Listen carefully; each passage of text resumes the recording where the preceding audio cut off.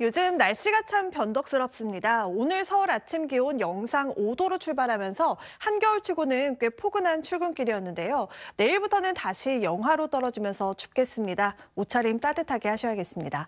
현재 수도권은 대기질 보통 수준을 회복했습니다. 하지만 여전히 충청 이남 곳곳은 먼지가 남아 있는데요.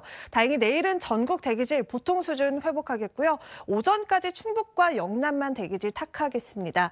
강원 북부 동해안은 내일 오후 한때 빗방울이 조금 떨어질 텐데 동해안은 대기는 여전히 건조하겠습니다. 내일 자세한 기온 보겠습니다. 서울 아침 기온 영하 3도, 대구 영하 1도로 오늘보다 많게는 8도가량이 뚝 떨어지겠습니다.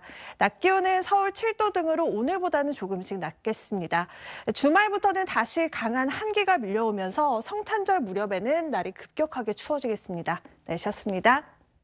안녕하십니까 편사옥입니다. 더 많은 뉴스와 라이브 이벤트를 보고 싶으시면 화면 오른쪽을 눌러서 구독해 보시기 바랍니다. 또 저희 SBS 앱을 다운로드 하시면 속보 알림도 받아보실 수 있습니다.